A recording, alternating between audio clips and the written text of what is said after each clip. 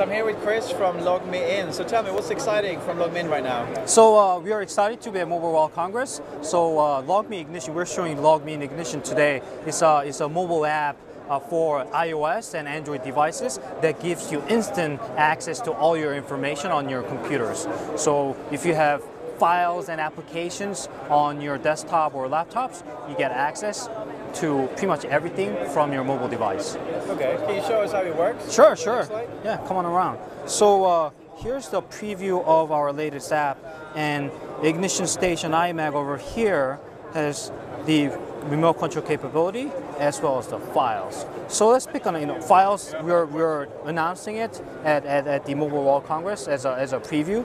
So if I go into files, what it does is I can get access to all my folders. So this is a root directory of my Mac.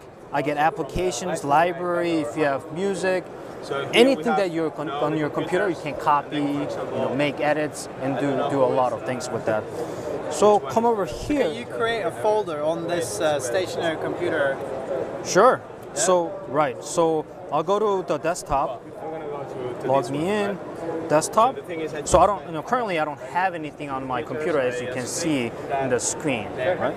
So I'm gonna go ahead and create a folder called log me in demo. Okay, and I just created that. As you can see, you now have that folder.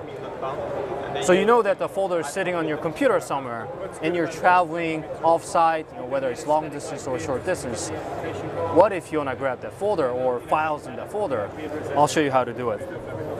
So you select that, can copy that, and it's gonna leave that folder uh, on your computer. And I select my device. I'm gonna drop it into. Then we can click, then we can Copy it. So There now you you go. drag the file from your desktop home computer to your iPad. Exactly. And then I can just take it offline, travel, and be productive. Thank you. Thank you.